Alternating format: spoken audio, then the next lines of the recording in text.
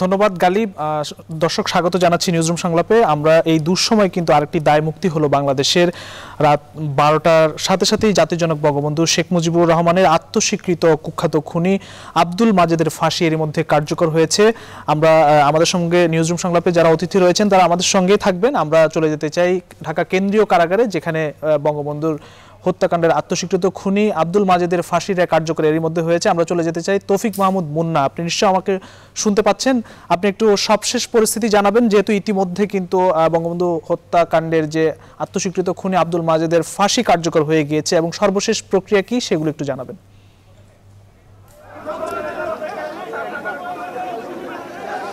ফখরুল আপনি জানেন কিন্তু বারোটার কিছু সময় পরে কিন্তু আপনার বঙ্গবন্ধু আত্মস্বীকৃত খুনি খুনি মাজাদের কিন্তু ফাঁসি কার্যকর হয়েছেন এবং এই কেরানীগঞ্জের কেন্দ্রীয় কারাগারের কেরানীগঞ্জের এখানেই কিন্তু প্রথম আপনার ফাঁসি কার্যকর হলো এই সেই ব্যক্তি যিনি হচ্ছেন খুনি মাজেদ, যিনি বঙ্গবন্ধুর আত্মস্বীকৃত খুনি যাকে গত ছয় এপ্রিল মিরপুর থেকে কিন্তু আটক করে। তাকে কিন্তু আজকে আপনার বারো তারিখ ফাঁসিতে কিন্তু কার্যকর করা হলো এবং এই মুহূর্তে কিন্তু কেরানীগঞ্জে কার্যকর কারাগারের সামনে আনন্দ মিছিল চলছে। আমরা দেখানোর চেষ্টা করছি যে আওয়ামী লীগের কিছু সংঘ নেতা কর্মী করোনার মধ্যেও তারা কিন্তু এখানে আনন্দ মিছিল করছেন এবং যে গাড়িটি আপনাকে আমি দেখানোর চেষ্টা করছি, সেই গাড়িটি হচ্ছে যে আপনার খুনি মাজেতের যে পরিবার, খুনি খুনি খুনি খুনি মাজেদের যে পরিবার, তার পরিবাররা কিন্তু এখানে খুনি যে পরিবার সে পরিবার তারা কিন্তু তারা কিন্তু এখানে অবস্থান করছেন এবং তারা এক গাড়িতে পাঁচজন রয়েছেন। তারা কিন্তু এখনও ঢুকতে পারেননি। তারা হয়তো কিছু সময় পর তারা কিন্তু এখানে এখান থেকে ঢুকবেন। তারপরে কিন্তু নিশ্চিত হবে তারা কোথায় আপনার লাশ কোথায় দাফন হবে, চাঁদপুরে না অন্য কোথাও। যদিও আমরা জেনেছি চাঁদপুরে লাশ দাফন জন্য কার্যক্রম চলছে। আমরা এই বিষয়ে আরও জানব আমাদের সহকর্মী মোখন্দকার যিনি দুপুর থেকে এখানে কার্যক্রম তিনি এখানে নিউ সংবাদ করেছেন, তার কাছে আমরা জানার চেষ্টা করব। যে মোখন্দকার তিনি এখন আপনাকে বাকি সংবাদ জানাবেন, সর্বশেষ কি অবস্থা রয়েছেন এবং আপনি এখানে ছিলেন এবং সর্বশেষ পরিস্থিতি কি? জানার জন্য আমি মোখন্দকারকে আমন্ত্রণ জানাচ্ছি। ধন্যবাদ মুন্না। আমরা আসলে মাত্র এখানে দেখতে পাচ্ছি যে যারা নেতাকর্মীরা আছেন, তারা কিন্তু একযোগে তারা মিছিল করে যাচ্ছেন এবং তারা বলতে বলতে যাচ্ছেন এই মাত্র কিন্তু তাদের পরিবারের যে গাড়িটি রয়েছে, সেটি কিন্তু এরই মধ্যে ভেতরে প্রবেশ করছে, এবং তারা অধিদপ্তর থেকে মূলত এই অনুমতিটি দেওয়া হয়েছে মাত্র, এবং অনুমতি দেওয়ার পর সেই গাড়িটি কিন্তু কারা অধিদপ্তরের ভেতরে মাত্র প্রবেশ করছে। আরেকটি বিষয় আপনাকে জানিয়ে রাখতে চাই যে নেতাকর্মীরা কিন্তু একযোগে নেতাকর্মীরা একযোগে তারা মিছিল করে যাচ্ছেন এবং তারা বিভিন্ন ধরনের স্লোগান দিয়ে যাচ্ছেন। আপনি জানেন যে আজকে আমরা যখন সকাল থেকেই দেখেছি যে এই এলাকার পুরো নিরাপত্তা ব্যবস্থাটি জোরদার করা হয়েছে এবং আর আরেকটি বিষয় যে আপনি জানেন যে এই ঘটনার বঙ্গবন্ধু হত্যা মামলার আসামি ক্যাপ্টেন বরখাস্ত মাজেদের ফাঁসি আজ বারোটা এক মিনিটেই কার্যকর হয়েছে এবং এই বিষয়টি নিশ্চিত করেছে দপ্তর থেকে। আর কেরানীগঞ্জ ঢাকা কেন্দ্রীয় কারাগারের ফাঁসির মঞ্চটি প্রস্তুত করা হয়েছিল কিন্তু আজকে দুপুর থেকে এবং সেখানে যে রিহার্সেলটি দেওয়া হয়, সেই কার্যক্রমটিও কিন্তু তারা করেছে। দুইবার করে রিহার্সেল দেওয়া হয়েছে এবং গতকালও কিন্তু এর রিহার্সেল দেওয়া হয়েছে এবং প্রস্তুত রয়েছিল জল্লাদের একটি দল। তারা কারা কর্তৃপক্ষ সব ধরনের প্রস্তুতি তারা নিয়ে রেখেছিল এবং যে কোনো মুহূর্তে কার্যকর হতে পারে এমনটি নির্দেশনা ছিল এবং তারপর কিন্তু অবশেষে বারোটা এক মিনিটে সেই ফাঁসির আসলে নির্দেশ নির্দেশনা আসলো। এবং এর আগে আব্দুল মাজেদের সঙ্গে শুক্রবার সন্ধ্যায় ঢাকা কেন্দ্রীয় কারাগারের পরিবারের পাঁচ সদস্য সাক্ষাৎ করেছে এবং কারা কর্তৃপক্ষের ডাকে সাড়া দিয়ে মাজেদের স্ত্রী, শালক এবং চাচা শ্বশুর সহ পাঁচ সদস্য সেখানে ছুটে যান এবং রাত আটটায় কিন্তু এই রিপোর্ট লেখা পর্যন্ত পরিবারের সদস্যদের কারাগারের ভেতরেই তারা ছিল এবং আজকেও কিন্তু সেই একইভাবে তাদেরকে দেখা করার কথা ছিল যে পরিবারের বাকি সদস্যদের সঙ্গে তিনি যে একদম শেষ দেখা যেটাকে বলে সেটা কিন্তু তিনি দেখতে চেয়েছিলেন কিন্তু কারা অধিদপ্তর থেকে কিন্তু সেই বিষয়টি নাকচ করে দেওয়া হয়েছে এবং বঙ্গবন্ধুর খুনি আব্দুল মাজেদের ফাঁসি কার্যকর করতে জল্লাদ শাহজাহানের নেতৃত্বে মূলত মোহাম্মদ আব্দুল আবুল এবং তরিকুল এবং সোহেল সহ দশজন জল্লাদের একটি টিম তৈরি করে রেখেছিল ঢাকা জেল কর্তৃপক্ষ এবং সেই অনুযায়ী কিন্তু পরবর্তী তারা কার্যক্রম শুরু করেছিলেন। আপনি দেখতে পাচ্ছেন যে এই মুহূর্তে যে মাজাদের যে পরিবারের যে গাড়িটি রয়েছে, সেটি কিন্তু এরই মধ্যে ভেতরে প্রবেশ করবেন, কারণ ভেতর থেকে কারা অধিদপ্তর থেকে সেই অনুমতি কিন্তু দেওয়া হয়েছে। আর আরেকটি বিষয়, এর আগে দু দশক ধরে পলাতক আব্দুল মাজেদকে গত সোমবার মধ্যরাতে মিরপুর থেকে গ্রেফতার করে কাউন্টার টেররিজম ইউনিট এবং পরদিন মঙ্গলবার দুপুরে মাজেদকে ঢাকার সিএমএম কোর্টে হাজির করা হয়েছিল এবং এরপর তাকে কারাগারে পাঠানোর নির্দেশ দিয়েছিলেন বিচারক। পরদিন বুধবার হত্যার মামলার পরোয়ানা শোনানোর পর সব দোষ স্বীকার করে তিনি রাষ্ট্রপতির কাছে প্রাণ ভিক্ষা চায় এই আব্দুল মাজেদ। আর আমরা বিভিন্ন কারাসূত্রে জানতে পেরেছিলাম প্রাণ ভিক্ষার আবেদন রাষ্ট্রপতি বাতিল করে দেওয়ার পর সেই চিঠিটি কেন্দ্রীয় কারাগারে পরে পৌঁছেছে এবং পরবর্তীতে কিন্তু কারাবিধি অনুযায়ী পরবর্তী কার্যক্রম গ্রহণ করার কথা। তবে বৃহস্পতিবার রাতে শয়ে বরাতের কারণে ফাঁসি কার্যকর হয়নি। আর আরেকটি বিষয় যে যে আমরা যত- যতদূর দেখেছি যে এর আগে যতগুলো ফাঁসি কার্যকর হয়েছে সবগুলোই কিন্তু যে নিয়মে হয় এটাও কিন্তু একই নিয়মে হয়েছে এবং পরিবারের যারা সদস্যরা রয়েছেন, তারা কিন্তু এরই মধ্যে ভেতরে প্রবেশ করছেন।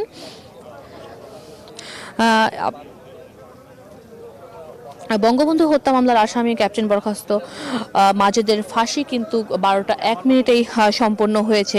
আর আপনি জানেন যে আমি যে কথাটা বলছিলাম, আসলে আবেদনটি নাকচ করে দিয়েছিলেন কিন্তু রাষ্ট্রপতি। এবং উল্লেখ্য যে আপনি গতকাল শুক্রবার রাতেই কিন্তু মাজেদের পরিবার পাঁচজন সদস্য এখানে দেখা করেছিলেন এবং বাকি যে পরিবারের সদস্যরা রয়েছেন, সেটি কিন্তু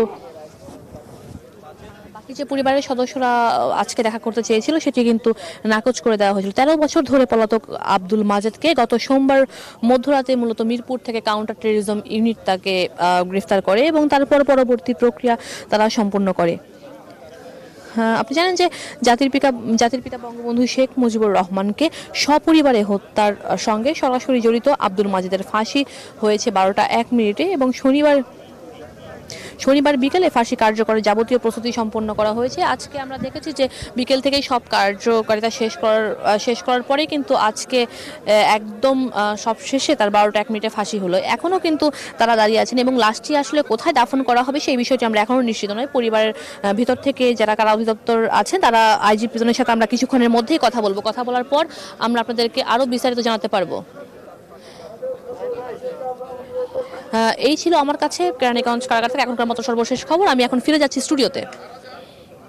অসংখ্য ধন্যবাদ মৌ খন্দকার এবং ধন্যবাদ তৌফিক মাহমুদ মুন্না। আপনাদেরকে অসংখ্য ধন্যবাদ। আপনারা থাকুন আমাদের সঙ্গে কেন্দ্রীয় কারাগারে। প্রিয় দর্শক করোনার এই দুঃসময় কিন্তু আরেকটি দায়মুক্তি হলো বাংলাদেশে রাত বারোটায় জাতির জনক বঙ্গবন্ধু শেখ মুজিবুর রহমানের আত্মস্বীকৃত খুনি আব্দুল মাজেদের ফাঁসি কার্যকরের মধ্য দিয়ে আরেকটি কলঙ্ক মোচন করল বাঙালি জাতি। দর্শক, প্রাণঘাতী করোনা রচনা আতঙ্কে লক্ষ্যহীন দেশ ও পুরো বিশ্ব ভয়াবতার মৃত্যু এক লাখ ছাড়িয়েও থামছে না। ভাইরাসটির মরণ ছুবল সংক্রমণ ছড়াচ্ছে একের পর এক জনপদ ও দেশে। আজকে নিউজরুম সংলাপের আলোচনায় থাকছে গণমাধ্যমের গুরুত্বপূর্ণ এসব খবরাখবরই। পুরো আলোচনায় স্বাগত জানাচ্ছি আমি ফখরুল ইসলাম এবং এছাড়া ভার্চুয়াল কানেক্টিভিটিতে ইতিমধ্যেই আমাদের সঙ্গে যুক্ত হয়েছেন, আমাদের সঙ্গে যুক্ত হয়েছেন এরই মধ্যে এপির বুরু প্রধান জুলহাস আলম এবং আমাদের সঙ্গে যুক্ত হয়েছেন কুমিল্লার এসপি সৈয়দ নুরুল ইসলাম এবং যুক্ত হয়েছেন চট্টগ্রাম থেকে একজন চিকিৎসক রয়েছেন মোহাম্মদ আব্দুর রব এবং আমাদের সঙ্গে আরও যুক্ত হয়েছেন সুলতানা রহমান এবং যুক্তরাষ্ট্র থেকে এবং শামিন, শামিম আলামিন। আমরা চলে যাচ্ছি। দর্শক, আমরা তার আগে একটু যেতে চাই। আজকের প্রধান প্রধান যে শিরোনামগুলো করেছে, আগামীকাল যে পত্রিকাগুলো আসবে প্রথমে আসতে চাই দৈনিক বাংলাদেশ প্রতিদিন। বাংলাদেশ প্রতিদিন আজকে যে প্রধান শিরোনাম করেছে, সেটি হচ্ছে ফাঁসির মঞ্চে বঙ্গবন্ধুর খুনি মাজেদ। করোনায় শীর্ষে ঢাকা, নারায়ণগঞ্জ, সিভিল সার্জন সহ আরও তিন চিকিৎসক আক্রান্ত। নিউ ইয়র্কে মারা যাওয়া বারো জনই চট্টগ্রামের। এই ছিল আজকে বাংলাদেশ প্রতিদিনের প্রধান শিরোনাম এবং এরপর আসতে চাই আধুনিক কালের কণ্ঠ। কালের কণ্ঠ শিরোনাম করেছে, করোনা চিকিৎসা আট ঔষধ উৎপাদনে এগিয়ে দেশ। আটটির বেশি দেশি প্রতিষ্ঠান, দশটিরও বেশি জেনেরিকের ওষুধ উৎপাদন করছে। এছাড়া তারা আরও শিরোনাম করেছে, চাল, কালোবাজারি, দুস্থের আহাজারি। এই ছিল দৈনিক কালের কণ্ঠের শিরোনাম। একই সাথে শিরোনাম করেছে ডেইলি সান ডেইলি সান করেছে country goes into virtual lockdown এই ছিল আজকের পত্রিকাগুলোর প্রধান প্রধান শিরোনাম। আমরা একটু চলে যেতে চাই আলোচনায়, যেহেতু আজকে বঙ্গবন্ধুর আত্মস্বীকৃত খুনি মাজিদের ফাঁসি এরই মধ্যে কার্যকর হয়ে গেছে। এর আগে যে বিষয়টি বলতে চাই, যে এর আগে দু হাজার নয় সালে বারো আসামির মৃত্যুদণ্ডাদেশ দেয় আদালত এবং তখন পাঁচজনের মৃত্যুদণ্ড, অর্থাৎ ফাঁসির দণ্ড কার্যকর করে। এর মধ্যে সৈয়দ ফারুক রহমান শাহরিয়ার রশিদ, বজলুল হুদা একে মহিউদ্দিন এবং মহিউদ্দিন আহমেদের ফাঁসির দণ্ড কার্যকর করে। আজ আরও একজনের ফাঁসিদণ্ড কার্যকর করল এবং বাংলাদেশ কলঙ্কমুক্ত হওয়ার পথে অনেক দূরে এগিয়ে গেল এবং এখনও কিন্তু আরও পাঁচজন বাকি রয়েছে যারা পলাতক রয়েছে বঙ্গবন্ধু হত্যা মামলার আসামি হিসেবে। খন্দকার আব্দুর রশিদ, শরীফুল হক ডালিম, নূর চৌধুরী, রাশেদ চৌধুরী এবং মুসলিউদ্দিন এই পাঁচজন এখনও পলাতক রয়েছে। আমরা একটু আলোচনায় যেতে চাই। আমাদের সঙ্গে যুক্ত হয়েছেন জুলহাস আলম। আপনাকে অসংখ্য ধন্যবাদ এবং আরও রয়েছেন আমাদের আরও রয়েছেন সৈয়দ নুরুল ইসলাম। পুলিশ সুপার কুমিল্লা আর রয়েছেন ডাক্তার আব্দুর রব চট্টগ্রাম থেকে যুক্ত হয়েছেন। আমরা একটু আলোচনায় যেতে চাই। জনাব জুলহাস আলম, আপনাকে দিয়ে শুরু করতে চাই আজকে জাতি কলঙ্ক মুক্ত হওয়ার পথে এক ধাপ আরও এক ধাপ এগিয়ে গেল এবং এখনও কিন্তু বাংলাদেশের যে শত্রু যারা রয়েছে জাতির জনক বঙ্গবন্ধু হত্যাকাণ্ডের মধ্য দিয়ে, এই শত্রুদের আরও পাঁচজন কিন্তু এখনও পলাতক রয়েছে। কি মনে করছেন আসলে আমাদের দেশের আসলে এগিয়ে যাওয়ার পথে এই ঘটনাটি আসলে খুবই কলঙ্কের এবং এগিয়ে যাওয়ার পথে অনেকটাই বাধা। আপনি কি ভাবছেন আসলে? কি মনে করছেন?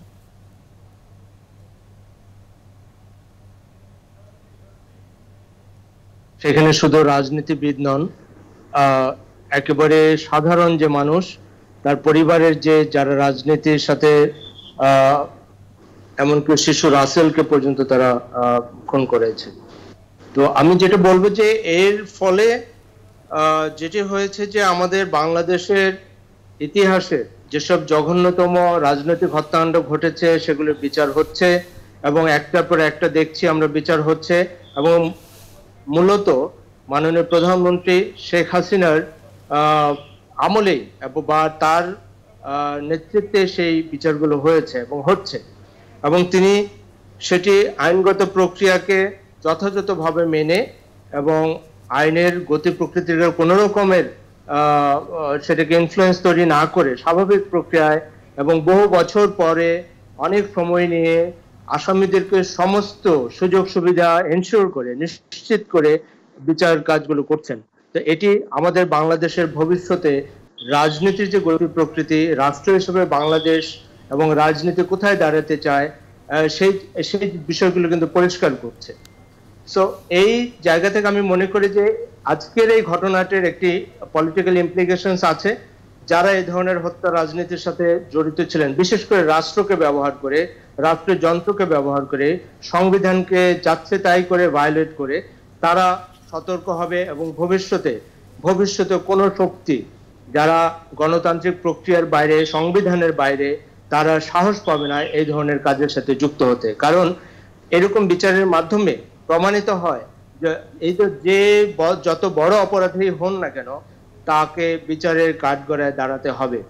আর এখনও পাঁচজন তারা পলাতক আছে, তাদেরকে ধরার জন্য, তাদেরকে দেশে ফিরিয়ে আনার জন্য সরকারের নানা তৎপরতা আছে। পররাষ্ট্র মন্ত্রণালয় থেকে অনেক সময় অনেক তৎপরতা দেখানো হয়। একটা ইন্টারমিনিস্ট্রিয়াল কমিটি আছে এবং আপনি জানেন যে ইন্টারপোলের কাছেও বিভিন্ন সময় আবেদন করা হয়েছে, তারাও রেড অ্যালার্ট জারি করেছে। বাট দ্বিপাক্ষিক কিছু সংকটের কারণে এবং চুক্তি না থাকার কারণে এবং কোন কোন দেশের ইন্ডিভিজুয়াল অবস্থানের কারণে হয়তোবা সেটি সরাসরি বাস্তবায়ন করা যাচ্ছে না।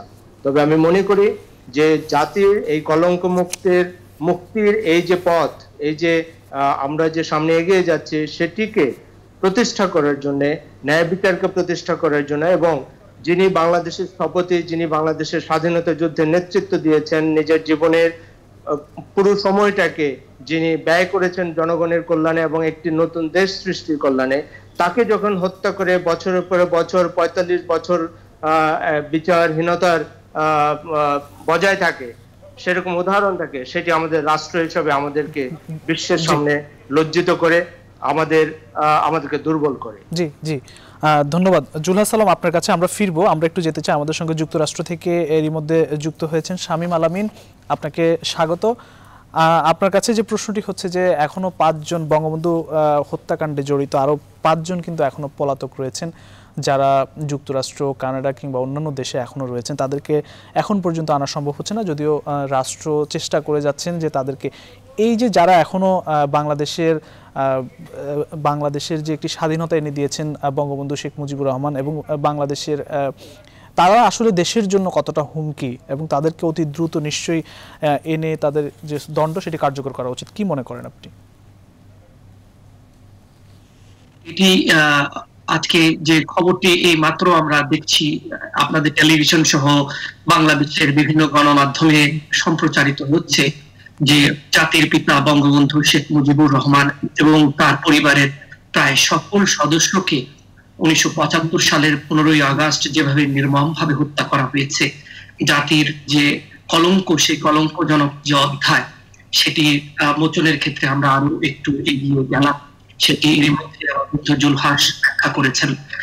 তো যেটি আমি বলতে চাই যে, আমেরিকাতে পালিয়ে থাকা খুনি এবং কানাডাতে নূর চৌধুরী সহ আরও কয়েকজন বিভিন্ন জায়গাতে পালিয়ে আছে এবং অনেকদিন ধরে কিন্তু সরকারের পক্ষ থেকে এক ধরনের তৎপরতা আছে যে খুনিদেরকে দেশে ফিরিয়ে নিয়ে গিয়ে এই রায় যেটি, সেটি কার্যকর করার ক্ষেত্রে। আমরা এর আগেও বিভিন্ন সময়ে আমাদের পররাষ্ট্রমন্ত্রীর সাথে কথা বলে কিংবা মাননীয় প্রধানমন্ত্রী যখন প্রায় প্রতি বছরই জাতিসংঘের অধিবেশনে যোগ দিতে নিউ ইয়র্কে আসেন, তখন প্রায় এই প্রশ্নটি থাকে সরকারের কি কি উদ্যোগ রয়েছে এসব খুনিদের দেশে ফিরিয়ে নিয়ে যাওয়ার ক্ষেত্রে? তার মধ্যে একটি যেটি বাধা সেটি হচ্ছে যে এসব দেশ থেকে যখন নিশ্চিতভাবে জানা হয় যে খুনের আসামি দণ্ডপ্রাপ্ত আসামিকে যখন ফাঁসির দণ্ড দেওয়া হয়েছে, তখন সেক্ষেত্রে অনেক ক্ষেত্রে এদেশের আইনগুলো এমন ভাবে তৈরি করা যে তাদেরকে যাওয়ার ক্ষেত্রে কিছুটা বাধা থাকে। তারা রাজনৈতিক আশ্রয় নিয়ে এমন ভাবে এখানে অবস্থান করেন বা করছেন। তাদেরকে কূটনৈতিক চ্যানেলেও অনেক প্রচেষ্টা থাকার পরও ফিরিয়ে নিয়ে যাওয়া কঠিন হয়ে যাচ্ছে। কিন্তু আমরা যেটি জানি যে সরকারের পক্ষ থেকে এক ধরনের তৎপরতা আছে এবং চেষ্টা সরকার চালিয়ে যাচ্ছে। এবং সবসময় আমরা সরকারের কাছ থেকে এই আশা করতে যে যতদিনই লাগুক বা যে হোক, সরকারের পর্যায়ে যে আলাপ আলোচনা, সেই আলাপ আলোচনার মধ্যে দিয়ে বঙ্গবন্ধু হত্যাকাণ্ডের সাথে জড়িত অন্য পালিয়ে দেশে নিয়ে গিয়ে রায় কার্যকর করা হবে এমনটি কিন্তু আমরা শুনি। এবং আমরা জানি যে মাননীয় প্রধানমন্ত্রী শেখ হাসিনার সরকারই কিন্তু এই রায়টি শুধুমাত্র রায়ের কার্যক্রম নয়, পুরো বিচার প্রক্রিয়াটি স্বচ্ছতার সাথে শেষ করে এখন কিন্তু সেই রায় কার্যকরের একটি প্রক্রিয়া চলছে। কিছুক্ষণ আগে আমরা দেখলাম একজন আত্মশিক্ষিত খুনি অনেকদিন ধরে খোঁজা হচ্ছিল, কিন্তু বাংলাদেশ থেকেই তাকে আটক করে এবং কিছু আইনি প্রক্রিয়ার মধ্য দিয়ে তাকে কিন্তু সেই দণ্ড কার্যকর করা হয়েছে। জি, ধন্যবাদ শামীম আলমিন আপনার কাছে আমরা আসব। আমরা একটু যেতে চাই কুমিল্লাতে। কুমিল্লার পুলিশ সুপার সৈয়দ নুরুল ইসলাম, আপনি আমাদের সঙ্গে রয়েছেন এবং স্বাগত জানাচ্ছি। আপনার কাছে যে প্রশ্নটি হচ্ছে যে যে আত্মস্বীকৃত খুনির আজকে ফাঁসি কার্যকর হলো হলো ইতিমধ্যে, তার বাড়ি কিন্তু চাঁদপুরে। আপনি কুমিল্লাতে অনেকদিন ধরে কাজ করছেন। সেখানকার আসলে নিরাপত্তা ব্যবস্থা কেমন? আসলে আপনি কি মনে করছেন? আপনার অভিব্যক্তি কি? এই ধরনের খুনি যারা এখনও এখনও পালিয়ে বেড়াচ্ছে তারা আসলে আমাদের দেশের জন্য কতটা হুমকি?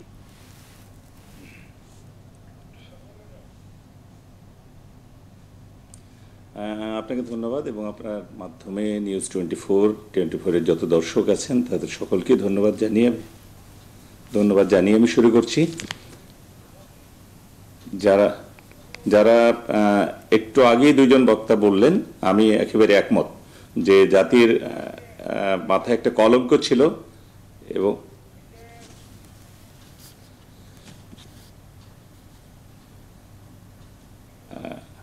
আমি দুঃখিত যে সাউন্ডটা রিপিট হয়ে আমার কাছে ব্যাক করছে, এটা একটু কন্ট্রোল করা যায় কিনা। তো আমি আবার কন্টিনিউ করছি যে যে কলঙ্ক আমাদের জাতীয় জীবনে ছিল যে, সেই উনিশশো পঁচাত্তর সালের পর থেকে এদেশের পর্যায়ক্রমে সতেরো কোটি মানুষ যে কলঙ্ক বহন করে আসছে, আজকে কলঙ্কের দায় মুক্তির একটি দিন এবং একজন বঙ্গবন্ধুর খুনি, একজন আজকে তার ফাঁসি কার্যকর করা হয়েছে। এবং আপনি জানেন যে কুমিল্লায় কুমিল্লায় খন্দকার মোস্তাক আহমেদ যে মূল মেকার ছিল এবং তার পিছনে আরও অনেকেই ছিল, আপনারা সকলেই জানেন খন্দকার মোস্তাক কর্নেল রশিদ, তাহিরুদ্দিন ঠাকুর যদিও এখন ব্রাহ্মণবাড়িয়ে পড়েছে এবং মাঝের সেটি চাঁদপুরে সেটিও বৃহত্তর কুমিল্লার ভিতরে। তো এই খুনিরা দীর্ঘকাল ধরে তার আস্পালন করেছে এবং তৎকালীন রাষ্ট্রীয় পৃষ্ঠপোষকতায় কিন্তু তারা অত্যন্ত গর্জিয়াস লাইফ লিড করেছে, বিশ্বের বিভিন্ন জায়গাতে তারা অবস্থান করেছে এবং সত্যিকার অর্থেই যে এত বড় একটা অপরাধ করার পরে যে বাংলাদেশের শ্রেষ্ঠ সন্তান যিনি স্বাধীনতার মহান স্থপতি, তাকে হত্যা করার পরে তারা যে পার পাবে না, সেটি পর্যায়ক্রমে প্রমাণ হচ্ছে এবং সেটি প্রমাণের আজকের একটা দিন। তো আমি মনে করি যে আজকে জাতীয় জীবনে একটি স্বস্তির দিন, অবশ্যই একটি স্বস্তির দিন এবং এই স্বস্তি কুমিল্লাতেও বয়ে যাচ্ছে স্বস্তি।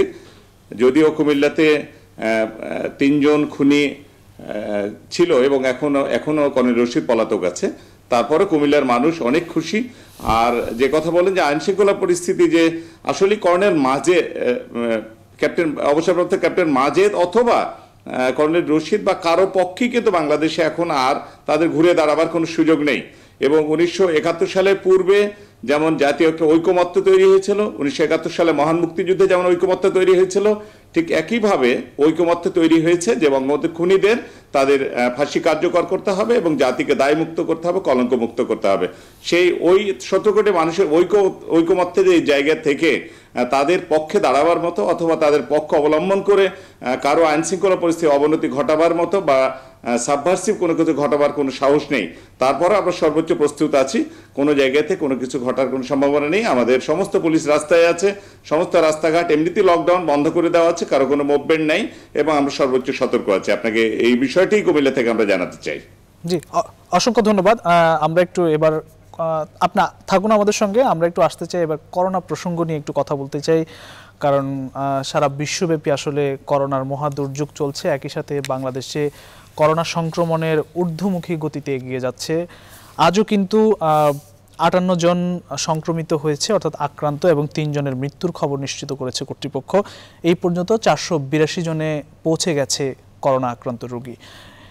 যে প্রশ্নটি আমরা যেতে চাই জুলহাস আলম আপনার কাছে আসতে চাই, আপনাকে প্রশ্নটি করতে চাই যে, আমরা দেখছি যে এক একটি এলাকা লকডাউন করা হচ্ছে, এ পর্যন্ত প্রায় বিশটিরও বেশি এলাকা লকডাউন, অর্থাৎ জেলা লকডাউন করা হয়েছে, ঢাকাতে চুয়ান্নটির বেশি এলাকা লকডাউন হয়েছে। আমরা দেখছি যে এই লকডাউনগুলো হচ্ছে এক একটি রুগী বা আক্রান্ত পাওয়া যাচ্ছে যে এলাকায়, সে এলাকায় লকডাউন হচ্ছে। কিন্তু তার আগে যে ওই রুগীটি অন্য অন্য মানুষকে সংক্রমিত করেছে, এখন আমরা কমিউনিটি ট্রান্সমিশনে চলে গেছি।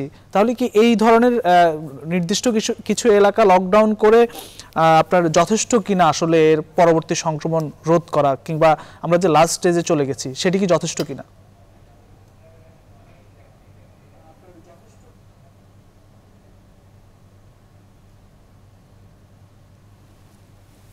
না দিয়ে যতটা আমরা সহজে একটু আমি সরি লাইভে আছি, কিন্তু একটু অনুরোধ করব আপনার প্যানেলকে কথা বলার সময় ইকো হচ্ছে, কথা শোনা যায় না, এবং কথাটা রিপিট করে, একটু যদি দেখতে পারেন। তো যেটা বলছিলাম তো লকডাউনের কারণে কিছুটা সুবিধা আমরা পাচ্ছি। কিন্তু সম্প্রতি যেসব ঘটনা ঘটেছে, সেই কারণে আমাদের ঝুঁকির মাত্রাটা বেড়ে গেছে।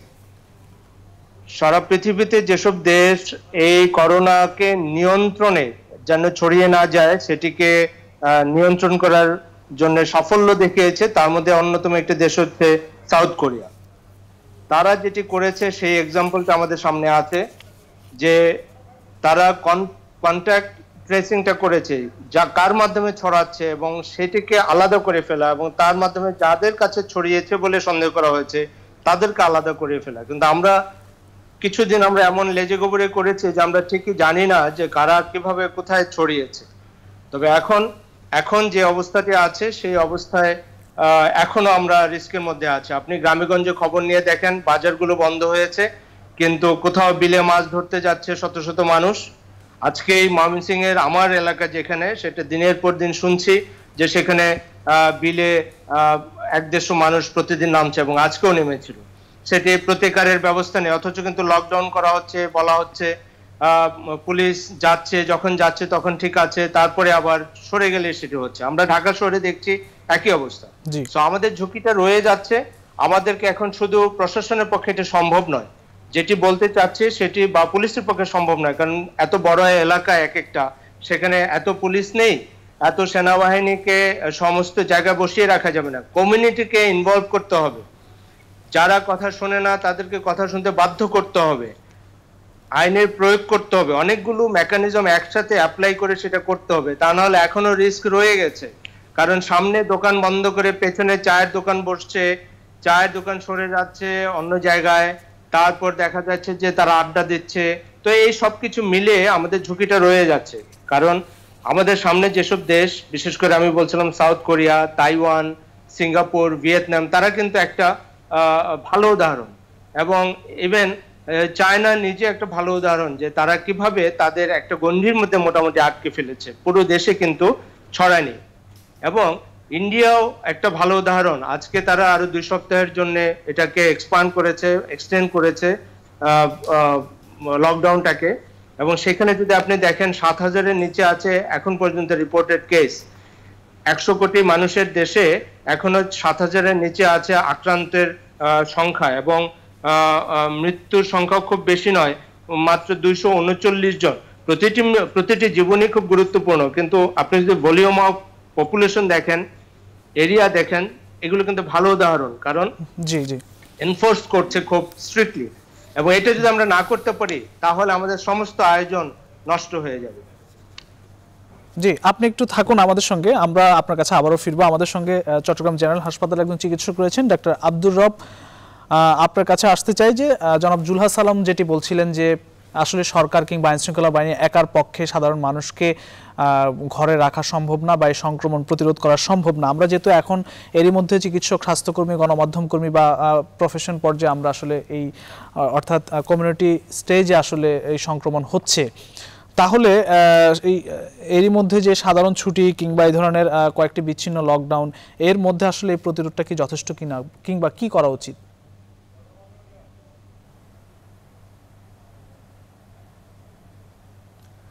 ধন্যবাদ আপনাকে। আমি প্রথমেই বাংলাদেশের সাংবিধানিক প্রতিষ্ঠানগুলিকে ধন্যবাদ দিতে চাই যে আজকে আমাদের প্রতিষ্ঠানগুলির সম্মিলিত প্রচেষ্টায় আমরা একটি আইনের শাসনের ক্ষেত্রে আরেকটি মাইল ফলক আজকে আমরা এই আরেকজন খুনির ফাঁসি রায় কার্যকর করতে পেরেছি। বাংলাদেশের সংবিধানের আওতায় প্রত্যেকটা মানুষ যে আইন দ্বারা নিয়ন্ত্রিত সেটা আরেকবার প্রমাণিত হলো। তো আমি চট্টগ্রাম জেনারেল হসপিটালে সিনিয়র কনসার্ন হিসাবে চট্টগ্রাম শহরে একমাত্র কোভিড ডেজিগনেটেড হসপিটাল যেটা আমরা একশো শয্যার আইসোলেশন সেন্টার হিসেবে আমরা কাজ করছি। এবং এখানে আমরা এখন পর্যন্ত পাঁচজন রুগী আমরা ভর্তি রেখেছি এবং চট্টগ্রামে এখন পর্যন্ত আপনারা জানেন যে নয়জন রুগী পজিটিভ হয়েছে, শনাক্ত করতে পেরেছি। যদিও আমরা এটা চেষ্টা করছি যে আমাদের টেস্টের যে পরিমাণ আমরা যেটা চিন্তা করি সেটা হচ্ছে আমরা যেটা চাচ্ছি যে আরও অধিক পরিমাণে বৃদ্ধি করতে যাতে আমরা আরও অধিক পরিমাণে রুগী আমরা শনাক্ত করতে পারি এবং তাদেরকে আইসোলেশনের মাধ্যমে যে কমিউনিটি সংক্রমণ, যেটা আমরা এখন বলছি যে আমরা চতুর্থ পর্যায়ে যাচ্ছি কিনা, যে আমাদের কমিউনিটি লেভেলে অনেক বেশি সংক্রমণ হয়ে যাচ্ছে কিনা, সেটা যে আমরা যে ভয় পাচ্ছি, সেটা কিন্তু আমরা আরও বেশি প্রেডিকশন করতে পারব। আমাদের দেশে কিন্তু আমাদের জনসংখ্যা অনেক বেশি, আমরা কিন্তু ঘনবসতিপূর্ণ এলাকা এবং আমাদের দেশে অনেক মানুষ বেশি গরিব থাকে, তারা কিন্তু এই খাবারের সন্ধানে বা বিভিন্ন কারণে কিন্তু তারা ঘর হতে বের হতে হয়। যেটা কমপ্লিট লকডাউন আমরা যেটা বাইরের কান্ট্রিগুলোতে বা যেটা উন্নত বিশ্বে আমরা যেটা হান্ড্রেড পার্সেন্ট কমপ্লিট কমপ্লিটলি আমরা করতে পারছি সেটা কিন্তু বাংলাদেশের ক্ষেত্রে অনেকটাই অসম্ভব হয়ে দাঁড়াচ্ছে। এবং আমাদের পুলিশ বিভাগ থেকে শুরু করে আর্মি যারা আইনশৃঙ্খলা রক্ষাকারী বাহিনী তারা কিন্তু সর্বোচ্চ চেষ্টার পরেও কিন্তু এটা সম্পূর্ণভাবে কন্ট্রোল করতে পারছেন না। এখন কি করা উচিত আসলে? যে চায়ের দোকানে যে আড্ডা গলিতে যে আড্ডা প্রতিরোধে জনাব আব্দুর রব প্রতিরোধে কি করা উচিত? আমাদের এখন যেটা করা উচিত সেটা হচ্ছে আমাদের, আপনি এটা জানেন যে যেহেতু এটা একটা কন্টাজিয়াস ডিজিজ এটার কোনো ট্রিটমেন্ট নাই, প্রতিষেধকও নাই, এটা আমাদের একমাত্র হচ্ছে সংক্রমণটা প্রিভেন্ট করা। এবং সংক্রমণ প্রিভেন্ট করার জন্য আপনাকে অবশ্যই একটা কমপ্লিট লকডাউনের মধ্যে আসতে হবে, যে আপনাকে ডিস্টেন্স মেনটেন করতে হবে, যে সংক্রমিত রুগী তাকে আইসোলেশন করতে হবে, এবং যারা সুস্থ আছে, তারা যাতে কোনো ধরনের রুগীর কাছে পৌঁছতে না পারে, অথবা ওনারা যাতে পরিবেশ থেকে সংক্রমিত না হতে পারে এই জন্য আমাদের চেষ্টা থাকবে যে আমরা ঘরে অবস্থান করব এবং অবশ্যই ঘরে অবস্থান করব। অতি, অতীব জরুরি প্রয়োজন ছাড়া আমরা অবশ্যই ঘর থেকে বের হব না। যদি বেরো হই, আমরা কিন্তু যেখানে ভিড় বা যেখানে অনেক মানুষ, সেখানে কিন্তু আমরা ভিড় করে দাঁড়াবো না। আমরা যেটা দেখতে পাই যে অনেক সময় ত্রাণ দেওয়ার সময় ভিড় হচ্ছে, অনেক সময় কাঁচা বাজারগুলিতে ভিড় হচ্ছে এবং অনেক জায়গায় আমরা দেখতে পারি যে রাস্তাঘাটও কিন্তু মানুষ অনেক আড্ডা দিচ্ছে এবং বিনার প্রয়োজনে ঘুরে বেড়াচ্ছে। আমরা সবসময় যেটা বলে আসছি যে আপনাকে ঘর থেকে যদি অতি জরুরি কারণে বের হতে হয়, তাহলে আপনি সাবধানে বের হবেন। আপনি অবশ্যই মাস্ক ব্যবহার করবেন এবং অন্য একটা মানুষ থেকে অবশ্যই তিন থেকে চার ফুট দূরে অবস্থান করবেন এবং আপনি যখন ঘরে ফিরে যাবেন, তাহলে অবশ্যই আপনাকে স্যানিটাইজার দিয়ে হাত ধুয়ে নিতে হবে বা সাবান পানিতে হাত ধুয়ে নিতে হবে এবং অবশ্যই বাসায় ঢুকে প্রথমে ওয়াশরুমে আপনার কাপড় চোপড় পরিষ্কার করতে হবে সাবান পানিতে। এবং পরিবারের সদস্যের সাথে টাচ করার আগে স্পর্শ করার আগে আপনি ভালো করে হাত ধুয়ে জি নিবেন। অসংখ্য ধন্যবাদ আব্দুর রব আপনার কাছে আমরা ফিরবো। আমরা একটু যেতে চাই যুক্তরাষ্ট্রে। শামীম আলামিন আপনি আমাদের সঙ্গে রয়েছেন। আপনার কাছে যে প্রশ্নটি হচ্ছে যে যুক্তরাষ্ট্রের যে ভয়াবহ পরিস্থিতি সেটি নিয়ন্ত্রণে আহ, প্রথম থেকে আসলে যুক্তরাষ্ট্র সরকারের একটি গাফিলতি ছিল বা অবহেলা ছিল। এখন কি পরিস্থিতি? আপনি কি মনে করছেন? কীভাবে আসলে আহ, যুক্তরাষ্ট্র সরকার পদক্ষেপ এখন নিয়েছে এবং বাংলাদেশেরও কি করা উচিত? ধন্যবাদ আপনাকে এবং আপনার মাধ্যমে আজকে যারা অংশ নিয়েছেন তাদের সবাইকে এবং একই সাথে পৃথিবীর যে প্রান্তে বসেই এই আলোচনাটি শুনছেন আপনারা, আপনাদের সকলের প্রতি শুভকামনা এবং আপনারা সবাই নিরাপদে আছেন, থাকবেন, দায়িত্বশীল আচরণ করবেন এমন এমনটাই প্রত্যাশা। আপনারা জানেন যে আজকে করোনা ভাইরাসের যে প্রাদুর্ভাব যেটি শুরু হয়েছিল চীনের উহান থেকে, সেটি কিন্তু সেই জায়গাতে আর সীমাবদ্ধ নেই। পৃথিবীর এমন কোন দেশ বা এমন কোন প্রান্ত নেই যে যেখানে এই করোনা ভাইরাস তার মহামারীর থাবা পৌঁছে দেয়নি। সুতরাং প্রচণ্ড একটি খারাপ একটি অবস্থার মধ্য দিয়ে যাচ্ছে গোটা পৃথিবী, গোটা দুনিয়া। কিছুদিন আগ পর্যন্ত যেখানে ইতালি এবং স্পেনকে বলা হচ্ছে চীনের পরে, সেখানে আমরা দেখেছি ফ্রান্সে এবং ইউকেতেও প্রচুর মৃত্যুর ঘটনা, সংক্রমণের ঘটনা ঘটেছে। কিন্তু সবকিছু ছাপিয়ে এখন আমেরিকা এই করোনা ভাইরাসের এপিসেন্টারে পরিণত হয়েছে এবং আপনারা সকলেই জানেন যে আমেরিকায় পাঁচ লাখেরও বেশি মানুষ এই মুহূর্তে সংক্রমিত বলে আহ, লিপিবদ্ধ আছে। কিন্তু এর বাইরেও অনেক মানুষ আছেন যারা আসলে আহ, ঘরে আছেন কিংবা পরীক্ষা করাননি সেই অর্থে আহ, এবং অনেকে আছে যে সেই ধরনের লক্ষণ নেই তারপরেও তারা করোনা আক্রান্ত। সুতরাং অনেক বেশি সংখ্যক মানুষ আমেরিকা জুড়ে করোনা ভাইরাসে আক্রান্ত এবং সেই জায়গাটিতে আমরা যেটি দেখেছি যে এখন পর্যন্ত প্রায় উনিশ হাজার মানুষ আমেরিকানের মৃত্যু হয়েছে এবং প্রতিদিনই আমরা মৃত্যুর মিছিল দেখছি। সেই মিছিলে সবচেয়ে বেশি সংখ্যায় যে জায়গাটির মানুষ সেটি হচ্ছে আমি যেখানে বসবাস করি, নিউ ইয়র্ক। সেই নিউ ইয়র্কে আমরা দেখছি যে আক্রান্তের অর্ধেকই নিউ ইয়র্কের এবং একই সাথে মৃতেরও প্রায় অর্ধেক নিউ ইয়র্কে। এর কারণ অনেকগুলো, এর মধ্যে প্রচুর ব্যাখ্যা এসেছে। আপনারা জানেন যে নিউ ইয়র্ক, এটিকে বলা হয় পৃথিবীর রাজধানী। এবং নিউ ইয়র্ক কখনো হয় না, অথচ এখন শহরটি একেবারেই কমে আছে পৃথিবীর বিভিন্ন প্রান্ত থেকে এই দেশে প্রতিনিয়ত কিন্তু মানুষ আসে। ইমিগ্রেশন সংক্রান্ত কারণে আসে, একই সাথে কিন্তু বেড়াতে আসে। অনেকে নানা কারণে জাতিসংঘ এখানে পৃথিবীর এমন কোন দেশ নেই, এমন কোন প্রান্ত নেই যেখানকার একজন মানুষের উপস্থিতি অন্তত এই শহরে নেই। কিন্তু শুরু থেকে এই শহর কিংবা এই দেশটি আসলে করোনা ভাইরাসের যে ঝুঁকি বা যে পূর্ব সতর্কতামূলক ব্যবস্থা সেটি নেয়ার ক্ষেত্রে প্রচণ্ড গাফিলতির পরিচয় দিয়েছে। এবং যে কারণে এই অভিযোগটি খুব জোরালো যে এই কারণেই হয়তো বা এতটা মহামারী আপনাকে অসংখ্য ধন্যবাদ। আপনাকে অসংখ্য ধন্যবাদ আমাদের সঙ্গে যুক্ত হওয়ার জন্য। আমরা একটু চলে যেতে চাই ঢাকা কেন্দ্রীয় কারাগারে কেরানীগঞ্জে। সেখানে কথা বলছেন কারা মহাপরিদর্শক ব্রিগেডিয়ার জেনারেল মোস্তফা কামাল পাশা এবং কিছুক্ষণ আগে আপনারা জানেন যে আহ, বঙ্গবন্ধু হত্যাকাণ্ডে জড়িত আত্মস্বীকৃত খুনি আব্দুল মাজিদের ফাঁসি কার্যকর হয়েছে। সবশেষ পরিস্থিতি জানাবেন। আমরা চলে যেতে চাই ঢাকা কেন্দ্রীয় কারাগারে। লাশ দিয়ে যাও।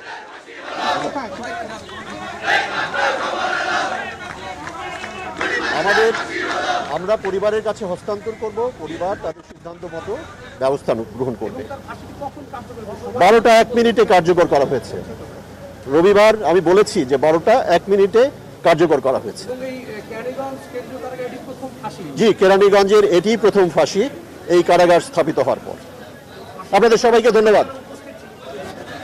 এটা কারাবিধি অনুযায়ী যাদের এখানে থাকার কথা ছিল, তার সবাই উপস্থিত ছিলেন এখানে। আপনাদের ধন্যবাদ।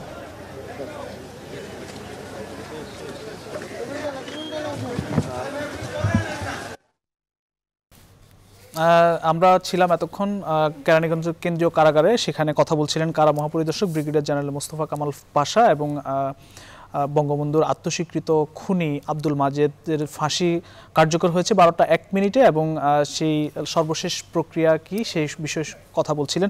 আমরা একটু চলে যেতে চাই কুমিল্লাতে। কুমিল্লাতে রয়েছেন পুলিশ সুপার সৈয়দ নুরুল ইসলাম। নুরুল ইসলাম, আপনাকে স্বাগত জানাচ্ছি। আপনার কাছে যে প্রশ্নটি হচ্ছে যে এখন আসলে গতকালই কুমিল্লাতে লকডাউনের ঘোষণা দিয়েছে জেলা প্রশাসন। এখন আসলে সেই লকডাউন কি মানছে কিনা, কি পরিস্থিতি, আপনারাই বা নিরাপত্তা নিশ্চিতে কি ব্যবস্থা নিয়েছেন?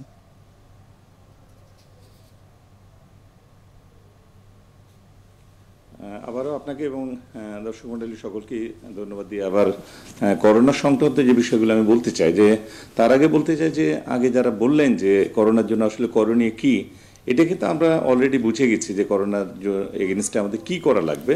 তার মধ্যে সবচেয়ে বড় কাজটি হচ্ছে ঘরে থাকা, অর্থাৎ আইসোলেটেড থাকা বা কোয়ারেন্টাইনে থাকা সঙ্গ নিরোধে থাকা, এই কাজটি হচ্ছে সবচেয়ে বড় কাজ।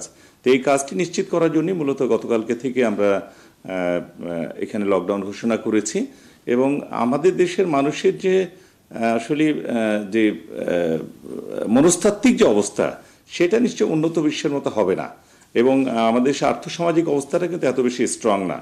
তো স্বাভাবিক কারণেই নানা কারণে মানুষ ঘরের বাইরে যাচ্ছে। এটাকে আমরা খুব বেশি দোষারোপ করব না। তবে মানুষকে মোটিভেট করতে চাইলে যে মোটিভেশন নিচ্ছে না, তাও কিন্তু না। অনেক ক্ষেত্রেই তারা নিচ্ছে এবং আমাদের কথায় তারা সায় দিচ্ছে। সমস্যা হয়ে গেছে যে অনেকেই বলছে যে আমাদের কাজকর্ম নাই, আমরা খাব কি ইত্যাদি ইত্যাদি। তবে কুমিল্লার ক্ষেত্রে আমি বলতে চাই আপনাকে, একবার আশ্বস্ত করতে চাই যে কুমিল্লার কোনো মানুষই সম্ভবত না খেয়ে নেই। এবং সরকার থেকে যে ত্রাণ সামগ্রী পাঠানো হয়েছে সেই ত্রাণ- সামগ্রী যথাযথভাবেই ঘরে ঘরে পৌঁছে দেওয়ার চেষ্টা করা হচ্ছে, জেলা প্রশাসনের মাধ্যমে করা হয়েছে এবং ইভেন দেন আমরা ঘরে ঘরে যে মানুষের খোঁজ নিচ্ছি যে কেউ যদি না খেয়ে থাকে সত্যিকার অর্থে, তাকে যে কোনো সময়ে পুলিশ প্রশাসনের পক্ষ থেকে আমরা খাবার পৌঁছে দিচ্ছি। গতকালকে গত পরশু দিন আমরা দুই হাজার প্যাকেট খাবার বিতরণ করেছি এবং সেগুলো বেশি ফ্লাওয়ারিশ না করে আমরা একেবারেই যারা আর্থিক অনটনে আছেন তাদের ঘরেই আমরা পৌঁছে দেওয়ার চেষ্টা করেছি। আরেকটি কাজ আমাদের পক্ষ থেকে করেছি, সেটি হচ্ছে যে আমরা আঠারোটা থানা এলাকাতে আঠারোটা মোবাইল দোকান আমরা চালু করেছি এবং এখানে আটটা পণ্য আমরা দিচ্ছি, চাল, ডাল, লবণ, আলু, পেঁয়াজ এগুলো। এবং সেগুলো বাজারের চেয়ে টেন পার্সেন্ট থেকে টোয়েন্টি পার্সেন্ট সাশ্রয়ী মূল্যে দিচ্ছি। এটা আমরা ভর্তুকি দিচ্ছি। আমাদের আর্থিক সামর্থ্যের জায়গা থেকে আমরা ভর্তুকি দিচ্ছি এবং মানুষ ঘরে বসে কিনছে এবং প্রতিদিনই আমার পরিসংখ্যান হচ্ছে যে আমাদের তিন থেকে চার হাজার বা কোনো কোনো দিন পাঁচ হাজার লোক তারা ঘরে বসে আমাদের কাছ থেকে এই পাঁচ ছয়টা আইটেম কিনছে। তার মানে এই পাঁচ ছয়টা আইটেম কেনার জন্য পাঁচ হাজার মানুষ ঘরের বাইরে আসতো এবং তারা বাজার হাটে যেয়ে তারা গ্যাদারিং করতো, অর্থাৎ কোয়ারেন্টাইনটা ব্রেক হতো। সেই কাজটা আমরা করছি। আর একটা তথ্য আপনাকে দিয়ে রাখতে চাই আমি যে কুমিল্লা প্রবাসীর সংখ্যা অত্যন্ত বেশি, আপনি জানেন। এবং যখন যখন ইটালি থেকে ফেরত বেশ কিছু যাত্রী তারা তাদেরকে কোয়ারেন্টাইনে রাখার জন্য হজ ক্যাম্পে বলা হলো, তারা সেখানে থাকল না এবং তাদেরকে হোম কোয়ারেন্টাইনে পাঠিয়ে দিল।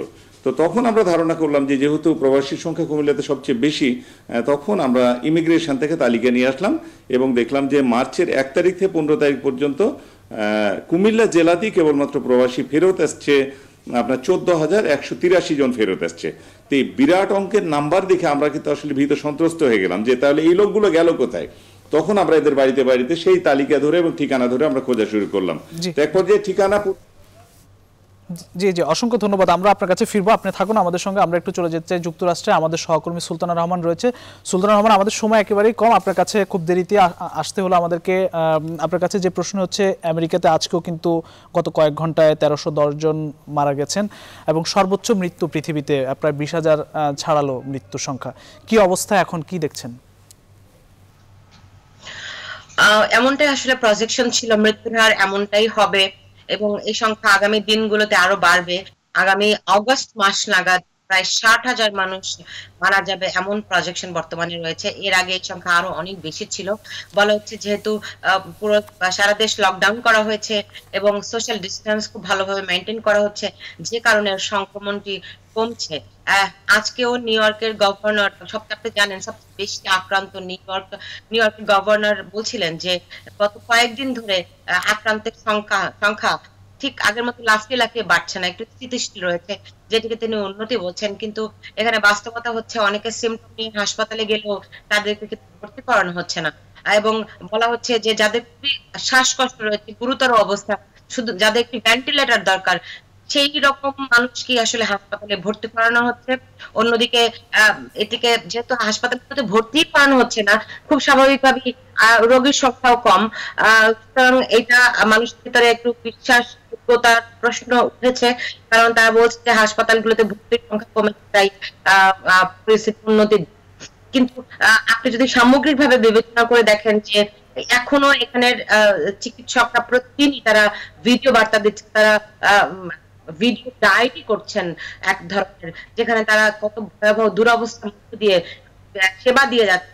সেই বিষয়টি তার করার চেষ্টা করছেন।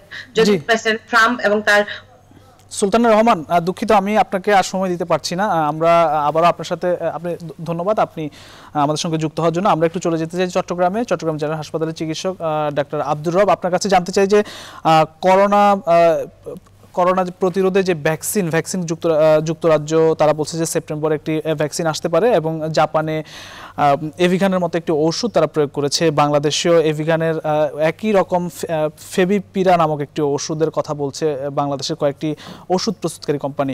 এই ওষুধগুলোতে আসলে কতটা ইতিবাচক ভূমিকা বা আমাদের জন্য বয়ে নিয়ে আসতে পারে? আর হচ্ছে, করোনা প্রতিরোধে সাধারণ মানুষকে তো অবশ্যই ঘরে থাকতে হবে। সে বিষয়টি সাধারণ মানুষ আসলে এখনও মানছে না কি করা উচিত একটু বলবেন?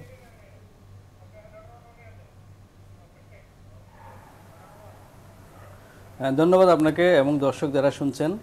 প্রথমে আস- ভ্যাকসিনের কথা। আসলে যে কোনো একটা ভাইরাস বা ব্যাকটেরিয়ার ব্যাকটেরিয়ার বিরুদ্ধে যদি আমরা ভ্যাকসিন তৈরি করতে যাই তাহলে এটা বিভিন্ন ট্রায়ালের মধ্যে দিয়ে যেতে হয় বিভিন্ন ফেজের মধ্যে দিয়ে যেতে হয়। ওষুধ বিজ্ঞান শিল্পে কিন্তু, ওষুধ বিজ্ঞানে কিন্তু অনেকগুলি ধাপ আছে। আপনাকে কিন্তু প্রত্যেকটা ধাপ অতিক্রম করে ট্রায়ালগুলি শেষ করে কিন্তু আপনি ক্লিনিক্যাল ট্রায়ালে গিয়ে তারপর শেষ পর্যন্ত ওষুধটি আপনি বাজারে ছাড় করার জন্য প্রস্তুতি পাবেন অথবা অনুমতি পাবেন। তো এই জন্য একটা ভ্যাকসিন তৈরি করার জন্য কিন্তু আসলে অনেকগুলি সময় লাগে। এটা কমপক্ষে দেড় থেকে দুই বছরও লেগে যেতে পারে অথবা অনেক বেশি লাগতে পারে। সুতরাং ভ্যাকসিনটি আসলে কতদিনে আসবে, কতদিনে এটা ক্লিনিক্যাল ট্রায়াল শেষ করে আপনাদের বাজারে বা আমাদের বাজারে আসতে পারবে, সেটা কিন্তু আসলেই কিন্তু অনেক সময় সাপেক্ষ ব্যাপার।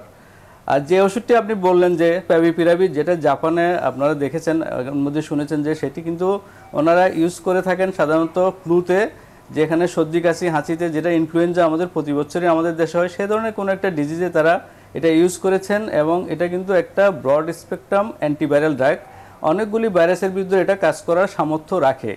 ঠিক এই জন্য কিন্তু করোনা ভাইরাসও যেহেতু একটি আরএনএ ভাইরাস এবং এই আরএনএ ভাইরাসের বিরুদ্ধে কাজ করে কিনা বা কাজ করতে পারবে বলে আমাদের বিজ্ঞানীরা ধারণা করছেন।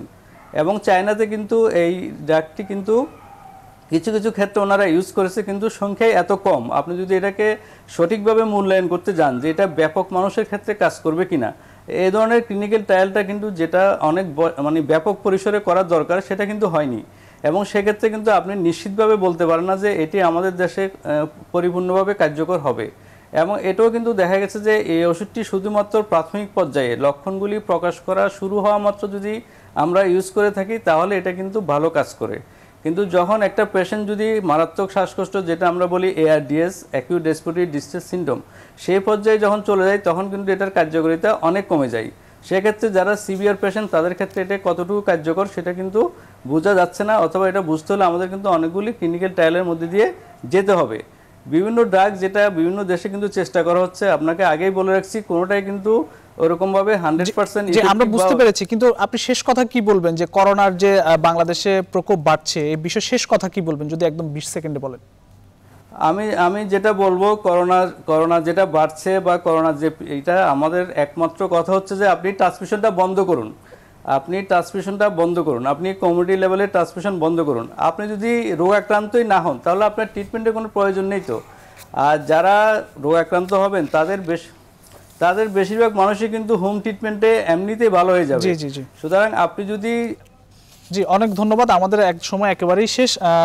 প্রিয় দর্শক, আমাদের সঙ্গে এর মধ্যে যারা যুক্ত হয়েছেন আজকে সময় একেবারেই কম ছিল এবং সবার কাছে আমরা আসতে পারিনি। ডাক্তার মোহাম্মদ আব্দুর রব চট্টগ্রাম জেনারেল হাসপাতাল থেকে যুক্ত হয়েছেন। যুক্ত হয়েছেন সৈয়দ নুরুল ইসলাম, পুলিশ সুপার কুমিল্লা এবং আমাদের সঙ্গে যুক্ত হয়েছেন অ্যাসোসিয়েট প্রেসের বুরু প্রধান জুলহাস আলম। আমাদের সঙ্গে যুক্তরাষ্ট্র থেকে শামীম আলামিন এবং সুলতানা রহমান যুক্ত হয়েছেন। তাদের সবাইকে অসংখ্য ধন্যবাদ। সবাইকে আসলে সেভাবে সময় দিতে পারেনি এই জন্য দুঃখিত। প্রিয় দর্শক করোনা ভাইরাস শুধুমাত্র কোনো খোলামেলা জায়গা কিংবা কারও স্পর্শে সংক্রমিত হয়, এটি খোলামেলা জায়গায় বিস্তার বা বিস্তৃতি লাভ করতে পারে না।